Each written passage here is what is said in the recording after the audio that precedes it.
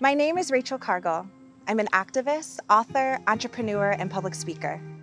I'm here at the Legacy Museum at Tuskegee University, which was the site of a crucial health facility that provided top notch care to Black patients with polio in the 1940s and 50s. I'm here because the subject is personal for me. See, my mother was a polio survivor and needed crutches most of her life, although it never stopped her. So I'm meeting with Cynthia Wilson to learn more about Tuskegee's polio efforts. I'd love to know what was here prior?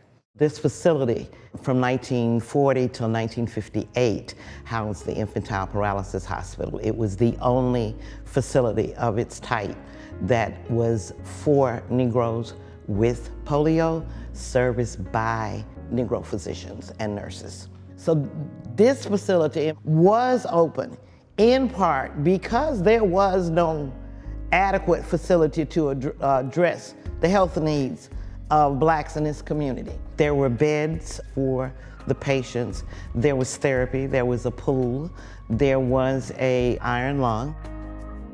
This history is the foundation of a future without polio, a future Rotary is fighting for. This happened a long time ago. Why is it still relevant?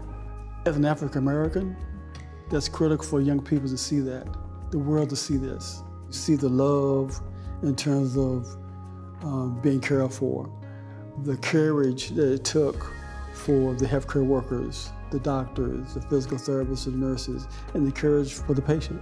It took love, love to make things move forward. Incredible strides have been made since the Infantile Paralysis Center. Through massive vaccination efforts, wild polio has been eradicated in all but two countries. We got two more countries. Mm -hmm. Pakistan and Afghanistan. We got to finish it. Polio eradication is a big goal, and we know that it's only possible if everyone has access to vaccines and equitable health care. The Legacy Museum at Tuskegee University reminds us that we've done that work in the past and we must continue.